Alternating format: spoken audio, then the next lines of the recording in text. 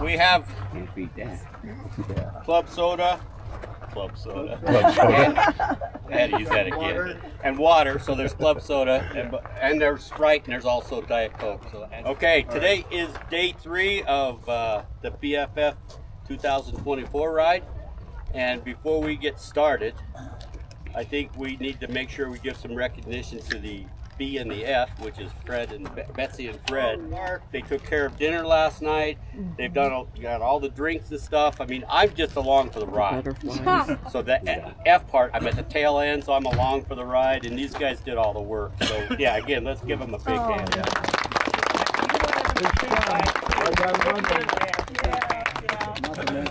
It's a wicked steak. So we are going to do uh, a little different ride today. We're going to go this direction. This is called the Markagunt Plateau, and we're going to go up over this hill. We're to drop down in and come and cross the road and go up and take a nice little ride through uh, uh, Ponderosa Pine Forest. We'll drop down across the road again, and then we're going to go over to the Panguitch Lake, and we're going to go to the dam. Then we'll go back across over the highway again, and then we're going to continue to go south. Uh, we'll find a spot in there and have an early lunch because it's the only really good spot to have a lunch. We'll have an early one.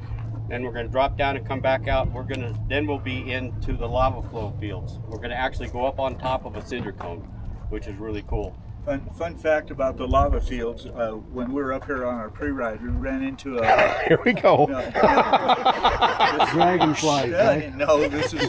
Venomous this, uh, lizards. A geology professor from BYU. And he was up here looking at the lava flow. Here we go. And he, he asked us, he said, uh, you want to hear something remarkable? He said, do you know what the greatest event was, volcanic event in North America? And Fred right away says, Mount St. Helen. I knew that was wrong.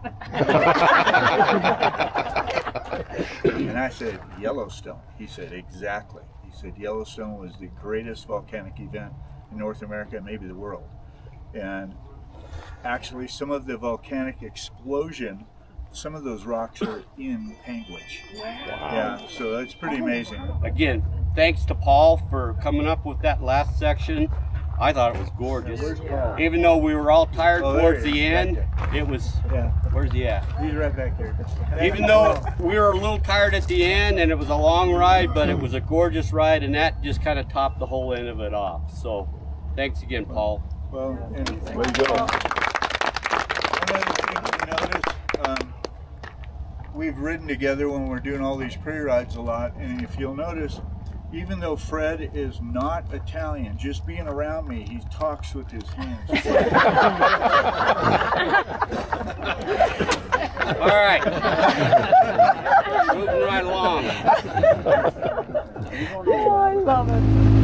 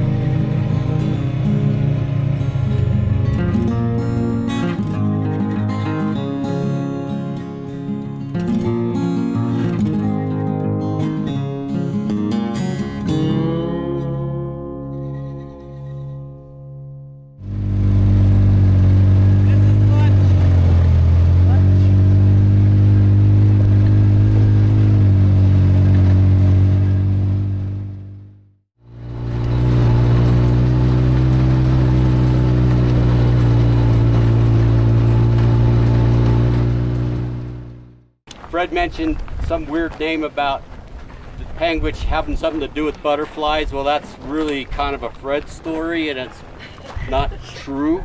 The real name is uh, is Panguitch stands for for everybody here says big fish, but I did a little research and it actually is just stands for fish. So in, in 1872, when they were settling over in Panguitch, they they were very resourceful people and they were in, really big into creating uh, irrigation systems for their crops. So one of the first things they wanted to do was increase the size of this dam, so or this lake. Originally, it was a natural lake. It only had 700 acres in it at one time, so it was a smaller lake. So in 1872, they built this lower portion where you can see all the rocks and the cement. And then in 1942, they came in and put that concrete, two-foot concrete section that you see in there. They came in and added that to the top. That increased the lake uh, acreage from 777 all the way up to almost 1,300 acres. So it increased it quite a bit. So this year during the winter, uh, I talked to a guy and he said we'd let the water out, but because we had such a, a quick runoff in April, the water came back up and then it froze. And the ice on this thing was really, really thick. So the ice was actually pushing against that upper two feet of the concrete that you see that was added in 42. And that was causing a crack. Now you can see that cutout that's in there. That cutout's been done since they had the incident in April. I think they cut that out because that was the section that was starting to fail. They decided to do after about the third day. They talked about evacuating the town. They had evacuation orders in process. Uh, they had town meetings and they were ready for this thing to go. Garkane Power, which is the main power company down here in these small towns, had a ditch witch. So they brought that up here and they started right about here and they cut all the way across there in the ice. The guys that were here could actually see the dam come back and straighten itself up once the ice, the pressure from the ice was relieved. So if this had broken, it would have gone right down in the middle, right through the middle of town and taken out a good portion of Panguitch. I asked if our discount would still be in effect.